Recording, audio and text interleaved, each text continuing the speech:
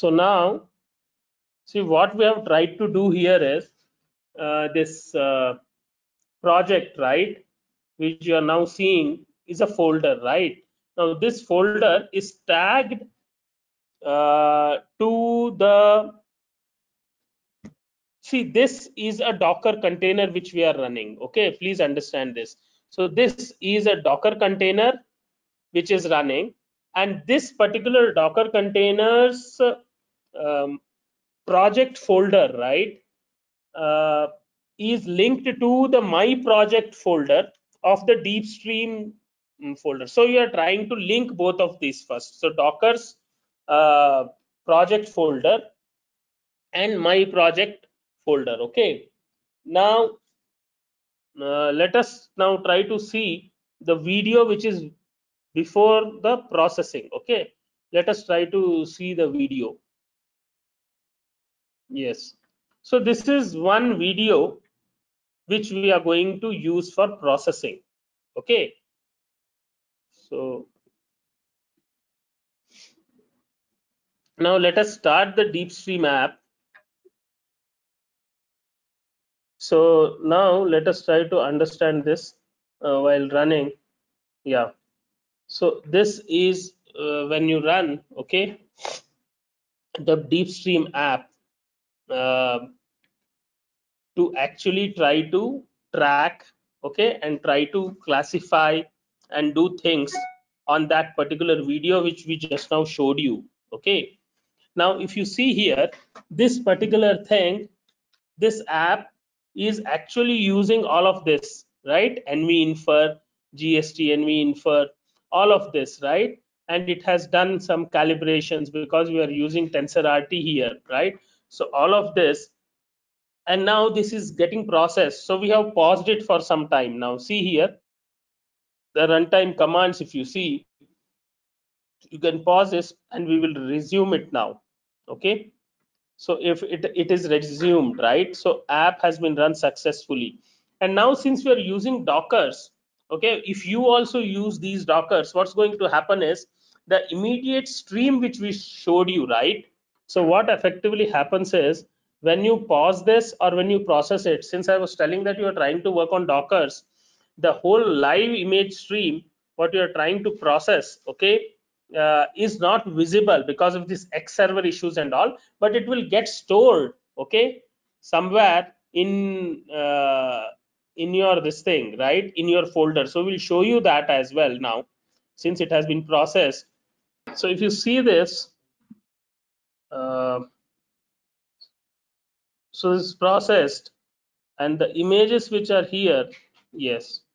So this is how it's being done. So the initial video which we showed you okay is processed using this deepstream application for tracking and for classifying okay?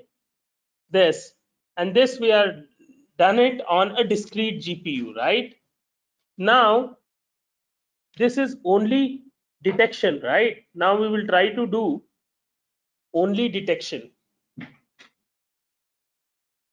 So this is the detection and now we will try to do the next example.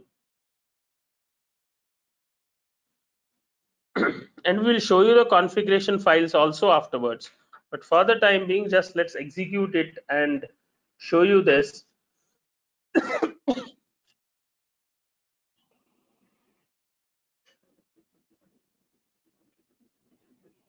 so if you see here gst nv tracker batch processing is off okay?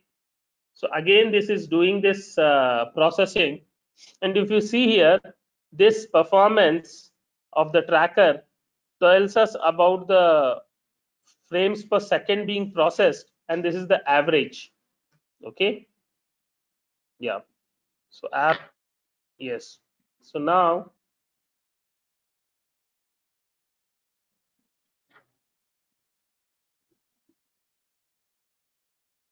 no not this one. Yes. So this is basically helping us to do counting also. Initially it was just detection of cars detection of people tracking them. But now we are able to count also right? So this is the next example which actually shows us how many cars have been tracked how many people have been tracked okay? And their count and whatever right? So this is how it's going to actually be used okay? So now let us try to work when it is basically put on the inferencing thing right? So so now let us try to do it on jetson tx2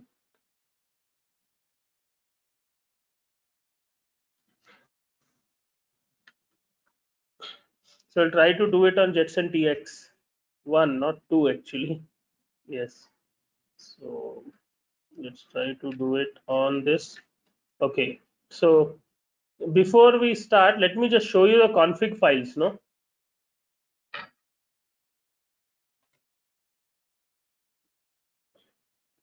yeah. So if you see this there is something which is this config file which actually helps us to configure things right?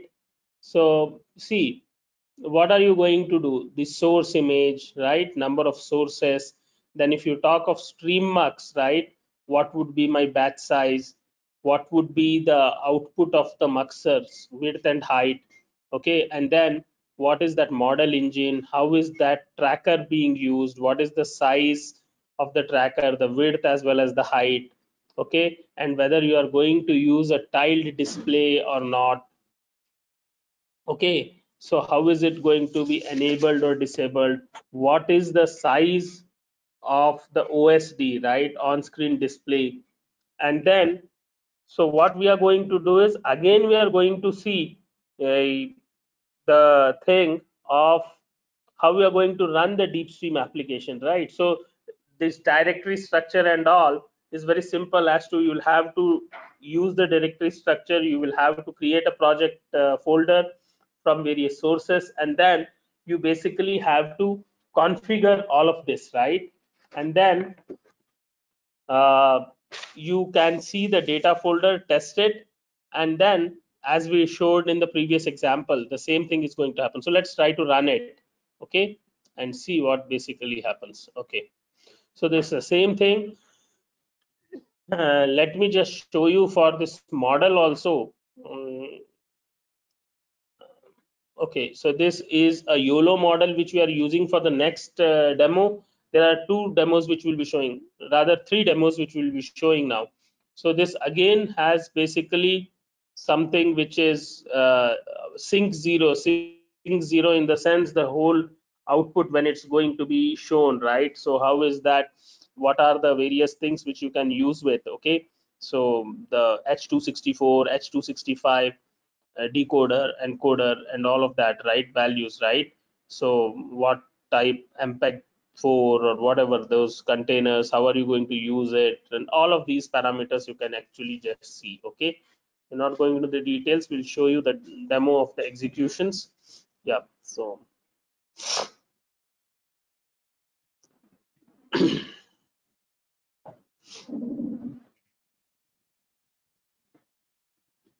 So what we are trying to do is now let me just increase the size of it. One minute let me just increase the size of this.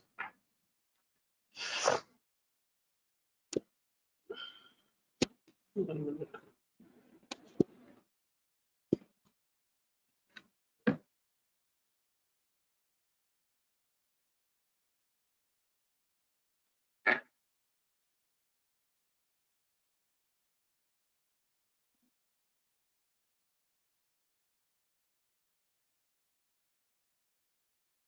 okay.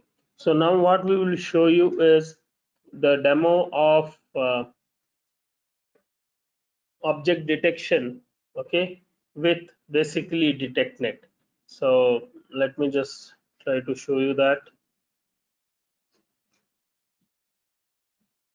Yes.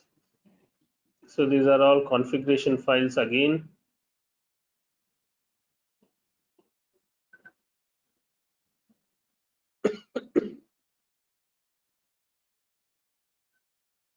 So again, we are trying to work on FP16 mode. Int 8 not supported by the platform is a different issue. But yeah, this this is just to show you deep stream. Okay. So there are certain uh, things related to the TensorRT stuff wherein it is going to give you right the info about the memory requirement if it does not happen okay so what is the pipeline running again if you see the performance here since it was running on a discrete GPU now this embedded GPU so this is the processing speed and this is the average processing speed with frames per second yes. So let's now try to see the data or the video. So this is basically trying to see the output. We have tested it so many times. We'll just try to see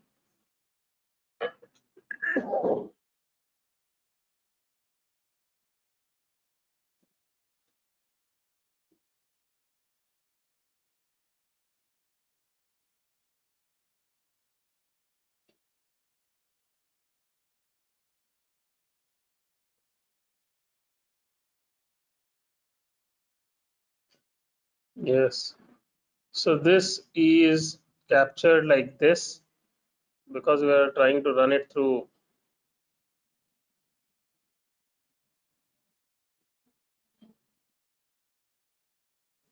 Different types of uh, viewers as well as no this video okay? So yeah. So let us try to now demo of object detection um, wherein we can put in our own model also. We'll try to show you this the third one. Yeah so this is what is that. Generally everything of will be of this type the any pipeline will be of this type right? You have source you have stream mux you have this primary GIE then tile display OSD and Synco right? So yeah so we will try to show you this fourth demo wherein we are trying to use our own custom model which is YOLO v4 okay? And then let us try to see how best we can do that okay? Yes so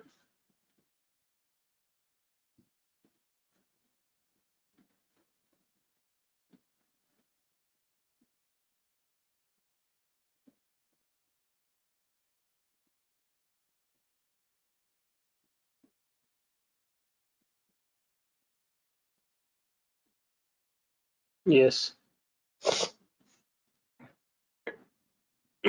So let me just go there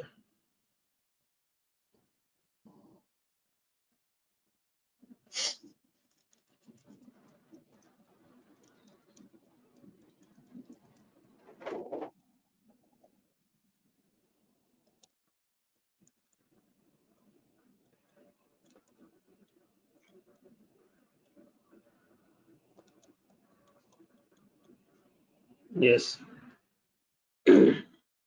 So again the same thing. We have not yet fully optimized it through int 8 but yeah we are trying to work it in fp16 mode. So we are trying to put in our own model now okay? So again if there are certain areas wherein this sufficient workspace memory is not available right and it will give you a warning the TensorRT thing that you can increase the workspace size this that everything. And again it's going to do this okay?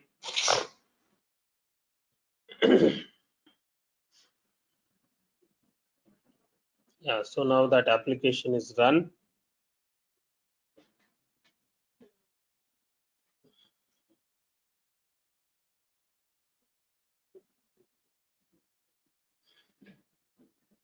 I don't know why this gets stuck so much.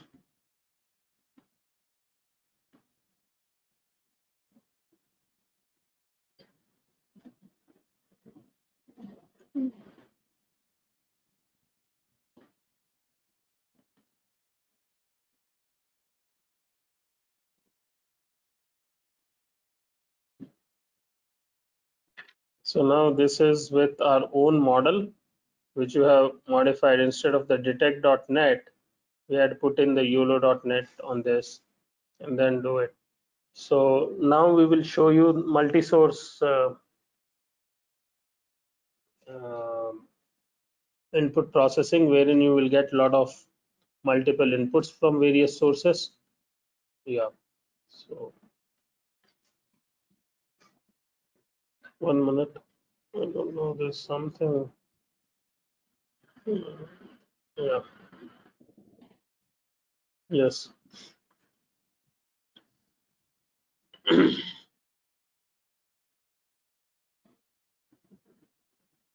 Yeah so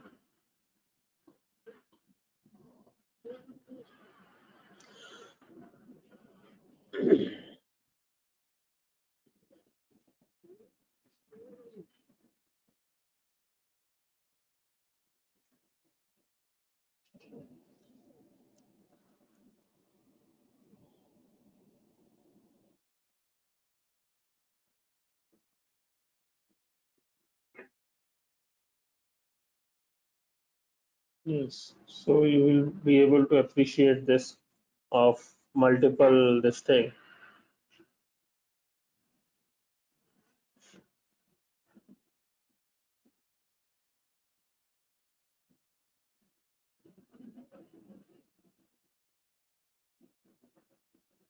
A bit slow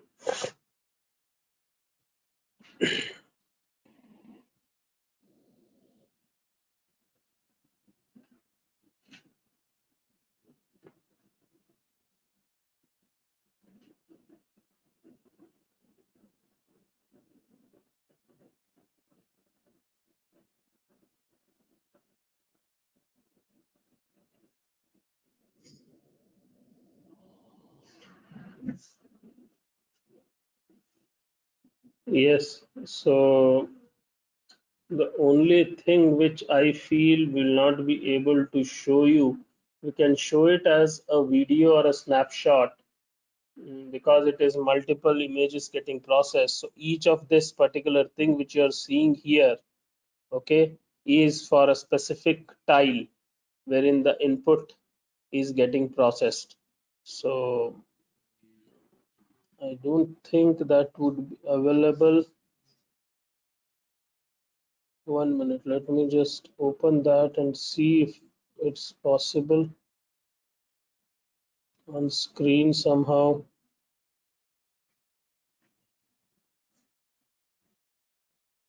Mhm. let me just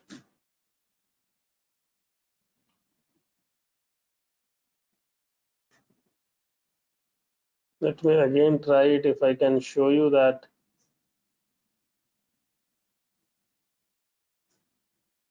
But we should be able to see that no?